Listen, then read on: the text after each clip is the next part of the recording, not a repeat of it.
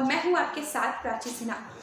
बिहार में सियासी पारा बढ़ता जा रहा है। आरोप प्रत्यारोप का दौर लगातार जारी है। इस बीच लोजपा के अध्यक्ष चिराग पासवान ने मुख्यमंत्री नीतीश कुमार पर जोरदार प्रहार किया है। उन्होंने कहा कि बीते पाँच सालों में बिहार में कोई विकास नहीं हुई है। इसके साथ ही चिराग ने कहा कि जेडीयू को दिया गया एक एक वोट बिहार के भविष्य को बर्बाद कर देगा।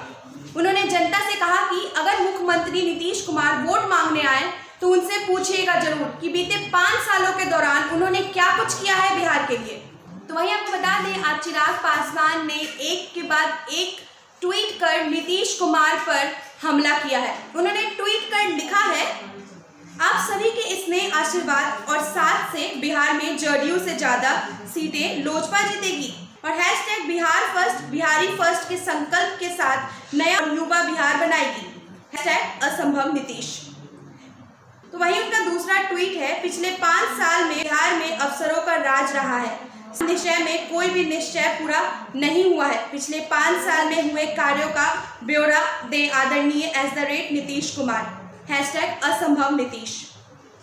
और उनका अंतिम ट्वीट है, पिछले पाँच साल के कार्यालय पर कुछ नहीं बोलना एक फरेब है।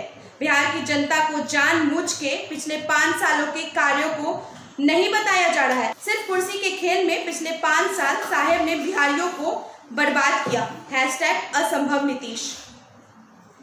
ऐसे लेटेस्ट अपडेट्स के लिए बने रहे हेडलाइंस बिहार के साथ। अगर आपको हमारी खबर अच्छी लगी हो तो लाइक सब्सक्राइब और शेयर करना ना भूलें। धन्यवाद।